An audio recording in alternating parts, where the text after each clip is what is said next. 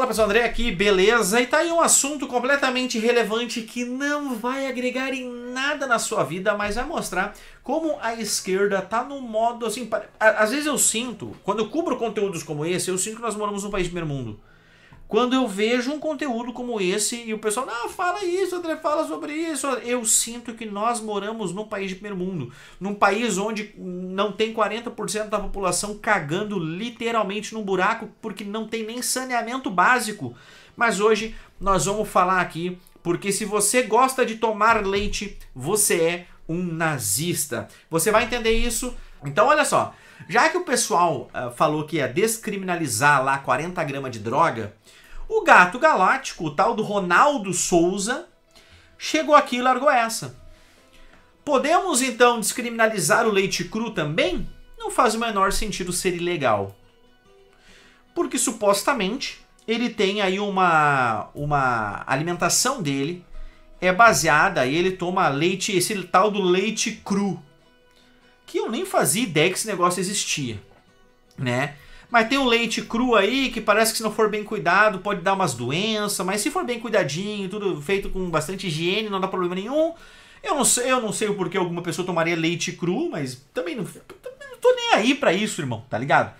E aí o pessoal levantou a questão que que leite Cara, assim, eu não tô brincando, irmão. Eu não estou brincando. Quem toma leite é nazista. Porque o leite é o branco puro. Porque antigamente se falava que somente pessoas brancas conseguiam digerir lactose. Cara, é, é, e aí o cara postou assim: ó, eu, eu tomo leite cru. Então, automaticamente, se o Ronaldo Souza, se o gato galáctico toma leite cru, ele é nazista. E aí ele tá usando uma camiseta verde. E camiseta verde tomando leite significa que tu é nazista. Olha, olha. É por isso que eu falo, cara, nós moramos num país de primeiro mundo e isso aqui é a prova. Isso aqui é a prova que nós moramos num país de primeiro mundo. Porque não existe nenhum outro país do mundo que tá preocupado com a porra dessa no seu Brasil. E aí nós vamos lá, aí tem, ó, aí tem, ó, os caras mostrando nazistas com camisetas verdes. Então, se o cara né? É, lembra daquele meme que a gente já falou aqui no canal de que Hitler tomava água e Bolso... lembra quando o Bolsonaro levou a própria água dele quando ele foi para os Estados Unidos, foi para outro país e o pessoal tava acusando que o Bolsonaro levou a própria água, então ele era nazista. Lembra da porra? Cara, isso realmente existe, cara. Isso realmente existe, cara. E aí vamos lá. E aí nós temos aqui o, o, o cara, né, o, o gato galáctico, cara, mostrando aqui essa foto, né? Deixa eu clicar nela aqui. Tem a foto dele aqui, beijando a esposa dele, pô, a bebê linda aqui, família linda, família maravilhosa. E o cara botou ali, ó. Uh, estou, né? Ele tá segurando aqui uma parada e fazendo assim, ó. Tá aqui o resultado, né? E aí o pessoal tá falando, você viu o que ele tá fazendo ali com a mão? Vocês notaram esse gesto aqui? Provavelmente você não prestou atenção nesse gesto. Mas esse gesto de fazer assim significa poder branco. White Power. Eu não estou brincando, eu não estou brincando, nós vamos descobrir agora. Nós vamos descobrir. Você não sabia disso? E nós vamos descobrir agora, eu vou ensinar vocês. E aí tem aqui um frame, tem um frame de um vídeo, eu olhei esse vídeo, onde ele vai lá contar assim, é, é uma contagem regressiva. 4, 3, 2, 1, 0. E aí ele entra no palco, Gato Galáctico! Porque esse cara é um animador infantil. O cara fazia muitos anos que eu não via nada do Gato Galáctico. A última coisa que eu vi dele foi em 2016, que ele fazia animação, ele fazia animações no YouTube. Tá ligado? E ok. E é isso aí. Hoje o cara é um animador infantil. E tá show. Ele é aqui da cidade vizinha, aqui de Distância Velha. Ele é aqui do Rio Grande do Sul. Ele fez um show há uns dois anos atrás, um ano e pouco atrás aqui, na cidade vizinha. E ok. E tal. Mas agora vocês vão entender por que, que esse gesto que ele está fazendo aqui significa que ele é um nazista. Vamos lá! Porque quando tu faz isso, isso aqui é um W e aqui é um P de white power. Cara, eu lembro há muitos anos atrás, há muitos anos atrás, eu lembro quando o pessoal lá no Reddit, no 4chan, fizeram esse Rogues aqui. Esse Rogues é uma enganação. Eles criaram lá, eles fizeram todo um post falando assim, galera, vamos começar a falar que isso aqui significa white power, que não sei o que, e papapá. Os caras botaram um monte de foto pra galera começar a postar nas redes sociais. E aí começou a criar assim, sabe? Ah, não, é. Então todo mundo que faz o símbolo de. Cara, isso aqui é ok nos Estados Unidos. Ô, oh, tá pronta a comida? Como é que tá a comida?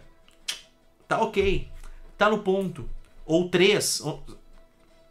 Mas agora parece que o cara, o gato galáctico, começou a ser nazista porque ele fez um, uma parada assim. Vocês lembram que teve um assessor do Bolsonaro que foi arrumar a, a, a gravata? Vocês lembram disso?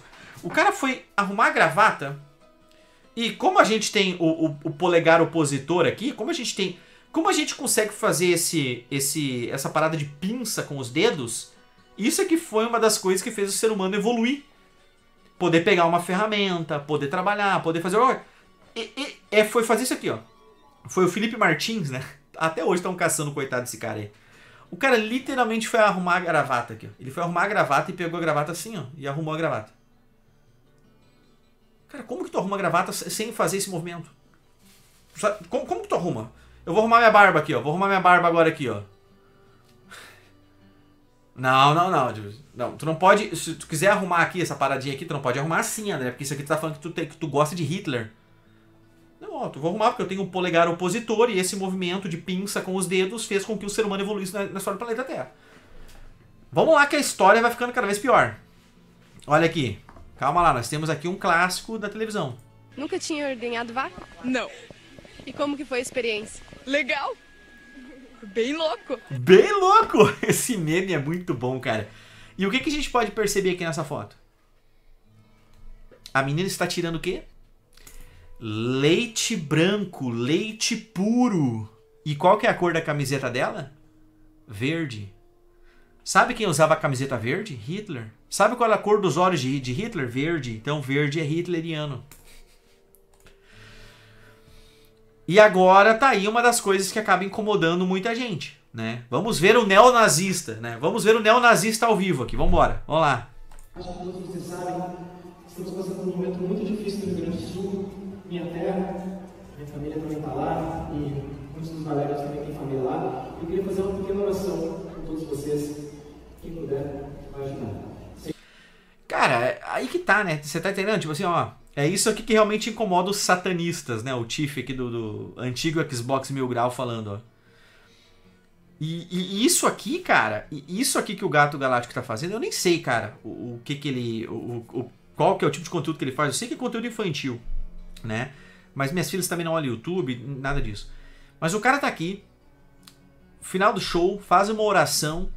Vamos até vou escutar a oração aqui do cara, vamos lá. Senhor, abençoa todas as famílias que estão com agora, passando por um dilúvio, um momento muito difícil. Te agradecemos por todas as pessoas que foram resgatadas e queremos te pedir, Senhor, que abençoe a todos e que isso passe rápido. Te agradecemos, Senhor, por tudo. E em teu nome oramos. Amém. Tu viu as criancinhas? Tu viu, tu viu, tu viu as criancinhas? Em teu nome oramos. Olha as criancinhas gritando amém, ó.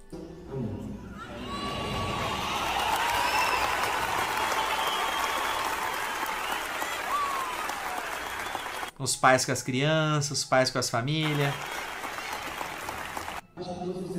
Legal. E aí tava o Felipe Neto. Tava o Felipe Neto denunciando o gato galáctico, que falou que ele tava tomando leite. Então, se o cara tem camiseta verde e toma leite, o cara é nazista. De achar essa foto do Felipe Neto com camiseta verde tomando iogurte. Não é leite, mas, né, na narrativa pode servir. Aí o Felipe Neto fala que quem usa coroa de flores também é nazista, é outra indicação nazista. E quem faz o White Power também é nazista. Os caras não acertam uma, né, irmão? E aí nós temos aqui. Ao meu ver, isso aqui resume. Isso aqui resume para mim perfeitamente. Animadores infantis de esquerda, que é esse carinha aqui, e animadores infantis de direita, com a família. Vocês sabem a história desse cara aqui? Digamos que esse cara aqui ele foi preso porque ele era fã do Playground. Cara, essa história vai muito mais a fundo. Felipe Neto criticou o Gato Galáctico aqui porque ele tava. Porque ele tava tipo assim, não, ele é uma imitação barata do meu irmão, que é o Lucas Neto. Cara, assim, é uma briga tão irrelevante, é uma coisa tão idiota que, tipo assim, eu fico pensando que. Sabe, sabe o que eu fico pensando, cara? É que às vezes a galera não tem nenhum problema na vida, não tem nada acontecendo. E eles pegam assim e falam assim, cara, vamos. Caraca, olha o gato do cara aqui, irmão. Olha o gato do cara. Tem que dar uma debochada junto, né, cara? Mas, tipo assim, porra, cara, o. o, o a, a galera. O, o que, que eu tenho a impressão, cara, é que. Às vezes eles precisam ter algum problema. Assim, aconteceu alguma merda no governo do Lula, eles têm que pegar e, cara, vamos jogar um problema que não existe agora para cima. E todo mundo fala desse problema. Eles vão naqueles grupos dele, mil, mil e poucos grupos que eles têm. E todo mundo começa a replicar esse tipo de coisa. Pra galera, tipo assim, esquecer que o dólar tá batendo 5,70, esquecer do desemprego, esquecer que o país tá indo pro buraco, esquecer de um monte de coisa. E por algumas horas do teu dia, tu criar ali um boi de piranha, tu criar ali uma, uma, uma enganação para falar que, ó, não, isso aqui é o problema de verdade. O problema de verdade é esse aqui. E galera, eu moro no Rio Grande do Sul, né? Morei minha vida inteira aqui, né? 40 anos vivendo aqui no Rio Grande do Sul. Cara, eu nunca conheci um nazista, eu nunca ouvi um nazista, eu nunca uh, presenciei, eu nunca vi nada disso que a galera fala, irmão. Porque qualquer pessoa, qualquer pessoa que tem dois neurônios hoje sabe o quão, o, o, o quão fudido foi essa questão do nazismo? O quão quebrado foi? Eu falei para vocês, cara, eu, eu sou um fã da Segunda Guerra Mundial, já li tanto filme, tanto seriado, tanto livro, tanta coisa, cara. E uma das coisas que eu pesquiso, que eu vejo e que me machuca é o limite que o ser humano teve que chegar para acontecer o que aconteceu na Segunda Guerra Mundial.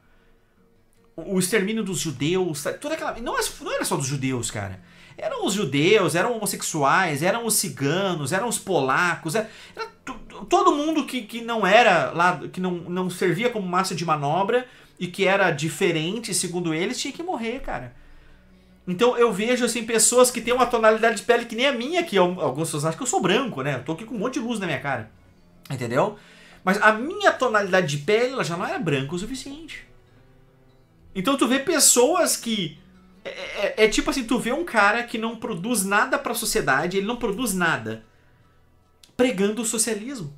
E no socialismo e comunismo, as pessoas que consomem mais do que produzem são executadas, irmão. Sacou? Então, cara, então, tipo assim, é, é por isso que eu vejo esse tipo de coisa e eu penso assim, cara, parece que a gente mora num país de primeiro mundo. Parece que 40%. Parece que todo mundo tem saneamento básico, né? No, no Brasil tem 40% das pessoas não têm saneamento básico. Parece que os índices de educação no Brasil estão entre os top 10 do mundo, e na verdade estão entre os top 10, estão no lower 10, né? Estão nos mais baixos do mundo inteiro.